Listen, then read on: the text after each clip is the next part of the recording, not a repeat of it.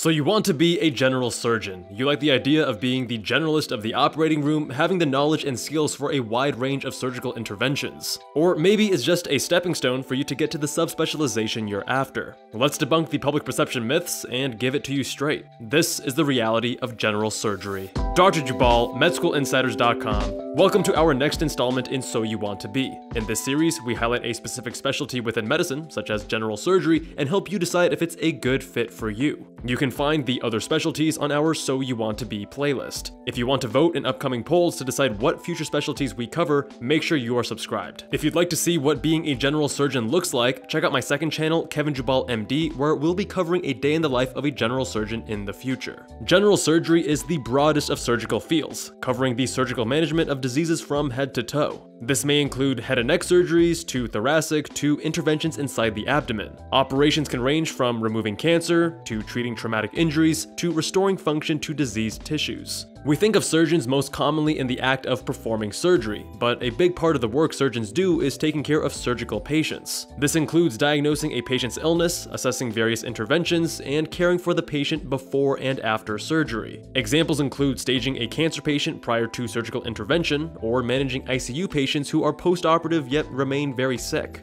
Even the busiest surgeons are in the operating room only a couple days per week. The rest of their time is spent seeing new patients or post-operative patients in clinic. If the surgeon is part of an academic center, they'll also have to divide their time between academic responsibilities, including teaching and research. This brings us to an important method of differentiating a general surgeon's practice. In academia, general surgeons tend to be more specialized, meaning they've done a fellowship after residency and are managing patients within a specific niche. At these larger academic institutions, you're also more likely to see complex and rare pathologies that are infrequently managed at smaller community practices. In community or private practice settings, general surgeons are more likely to operate without fellowship training, although several are still fellowship trained. Compared to an academic practice, community and private practice general surgeons have higher average compensation. Let's clear up some of the misconceptions about general surgery. First, some think that general surgery is the specialty for medical students who want to be surgeons but aren't competitive enough to match into a more desirable surgical subspecialty, like plastic surgery, neurosurgery, orthopedic surgery, and so on. The truth is that general surgery has a great deal to offer that is unique from other surgical fields, and for that reason attracts a large number of candidates. Second, the challenging lifestyle aspects are often overstated, at least for when you're a fully trained attending physician.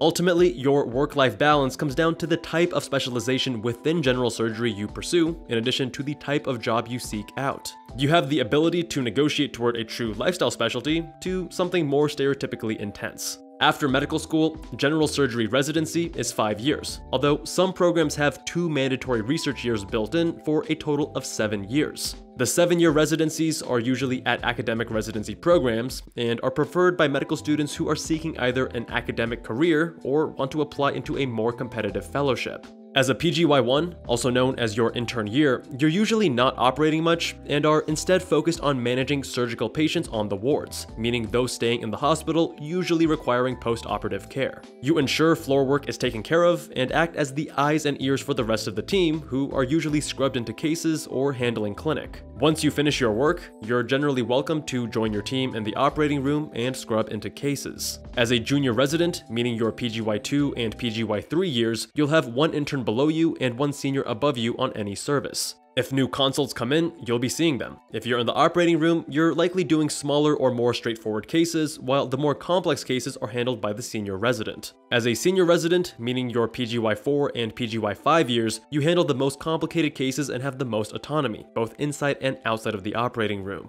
That translates to making treatment decisions and putting plans into place and operating with less supervision. In your chief year, meaning as a 5, when you are most senior, you will also have the added responsibility of handling light administrative work for the residency program, such as schedules and responsibilities for the residents below you. Research years, if required by the program, are typically done after either PGY2 or PGY3. Residents typically maintain some level of clinical involvement during this time to keep their clinical acumen sharp, such as by taking call occasionally or covering overnight shifts. In terms of competitiveness, general surgery is middle of the pack, with 70 points in our MSI competitive index, ranking below vascular surgery and above med peds. Of the surgical specialties, general surgery is the most attainable. The match rate is 84%, average USMLE step 1 is 235, and average step 2 CK is 247. After completing general surgery residency, you can further subspecialize with fellowship. Historically, any form of surgical specialization through fellowship always followed a general surgery residency. This is termed the independent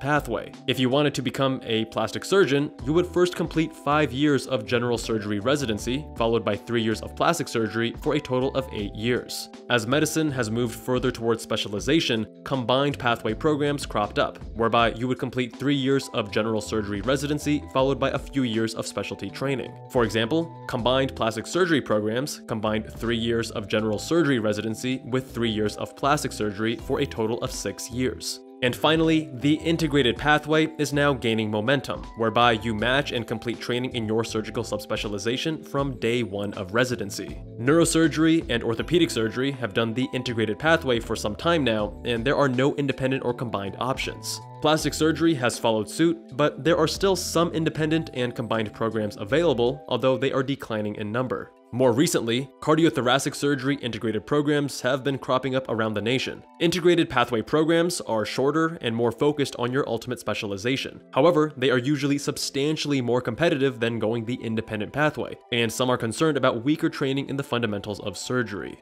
To specialize in critical care, you'll complete a one-year fellowship, although a second year is usually completed for those who ultimately want to work at busy trauma centers. Trauma and critical care combine the best of both worlds. You get both high intensity surgeries, but also clock out when you're not on shift. As a result, you get decent control over your lifestyle. Typically, these surgeons also have a component of their month for elective general surgery and emergency general surgery call, which can be flexible depending on the surgeon's preferences. We have a full episode on trauma surgery linked below. Colorectal surgery is a one-year fellowship for the general surgeons who appreciate a decent lifestyle and a wide variety of procedures, from colonoscopies to small outpatient procedures to bigger cancer operations, including both minimally invasive and open cases. Pediatric surgery is a two-year fellowship whereby you essentially become a general surgeon for children. Compared to adults, your patients will bounce back faster from surgeries. Your bread and butter will include a large amount of gastrointestinal surgeries, treating emergencies, and correcting congenital birth defects. Within pediatric surgery, there is a high degree of specialization. For example, a neurosurgeon or orthopedic surgeon or plastic surgeon can subspecialize in various pediatric-focused specialties.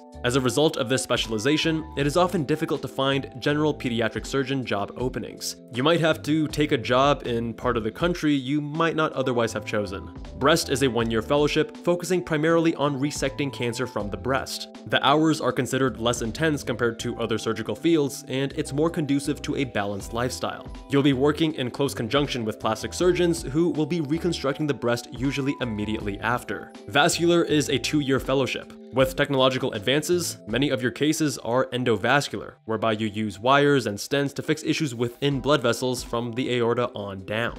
You'll also be involved in reconstructing vascular supply to the body's organs while working in tandem with other surgeons, such as during massive tumor resections, repairs after trauma, and so on. Endocrine is a one-year fellowship whereby you'll specialize primarily in surgeries of the thyroid, adrenal gland, and to a lesser extent, pancreatic lesions, which are more often handled by hepatobiliary or surg-onc teams. Endocrine has a great lifestyle, as there are typically fewer emergencies on call, and working hours are considered favorable. Transplant is a two-year fellowship primarily focusing on kidney and liver transplants from deceased donors to live recipients. Less commonly, you'll be performing pancreatic transplants or live donor liver transplants, whereby part of the liver is transplanted given the unique regenerative properties of the liver. This is one of the most rigorous and challenging specialties from an hours and technical standpoint. Not only are liver transplants extremely lengthy and difficult to perform, but you can also get called nearly 24-7, as donor availability is usually unplanned and harvesting is highly time sensitive. Surgical oncology is a two-year fellowship focusing on surgical management of cancer throughout the body. Bread and butter includes breast cancers, colon cancers, soft tissue cancers, such as sarcomas, and other abdominal cancers including the liver or pancreas. It's a competitive fellowship, the hours can be long and demanding, but those who are drawn to this line of work find it highly rewarding.